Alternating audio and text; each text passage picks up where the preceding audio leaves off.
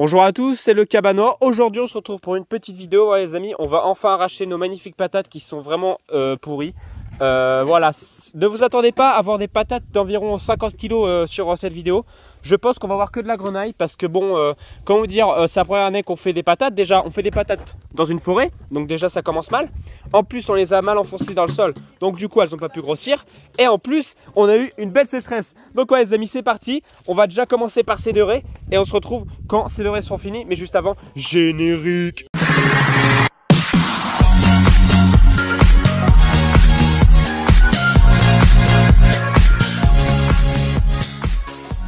Les amis, on se retrouve comme on peut le voir, on vient de finir d'arracher les dorés. Franchement, super récolte. Voilà, c'est.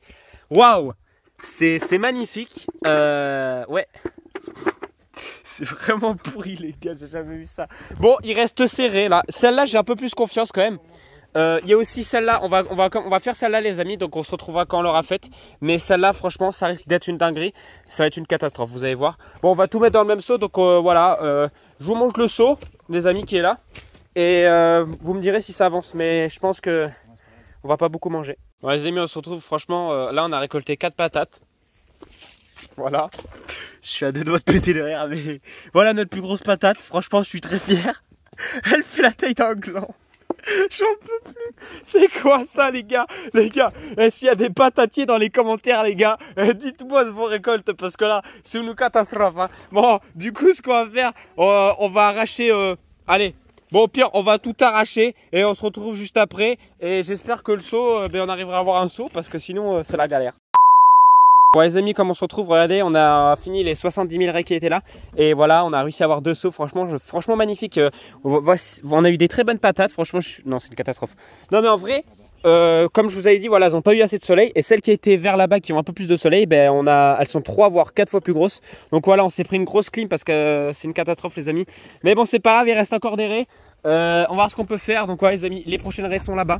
je, je mets toute ma confiance en ces raies. ça a été des années de travail? Non. Bon, celles qui sont là, il va rien avoir, c'est sûr. Là, je vous dis ici. On va arracher celle-là et on se retrouve juste après, mais je pense qu'il va rien avoir. Ouais les amis, euh, on se retrouve juste après, c'est une catastrophe les scouts. Bon les amis, on se retrouve, franchement la récolte est magnifique. Euh, on a sur trois raies, on a réussi à avoir 10 patates. Donc franchement je suis très très fier. Euh, voilà, magnifique. Hein. Bon les amis, on va se retrouver sur les dernières. C'est les seuls en qui j'ai confiance, c'est serré. J'ai très peur. Voilà. Voilà, ça là j'ai confiance parce qu'elles ont été un peu plus au soleil. Et là elles sont encore vertes, donc faudrait même pas les... les... Elles sont encore vertes, regarde. Mais bon. Bon les amis, c'est pas grave, on s'en fout. On va les arracher et on se retrouvera à la fin de la vidéo pour faire le bilan de ces magnifiques patates qui sont catastrophiques. Let's go.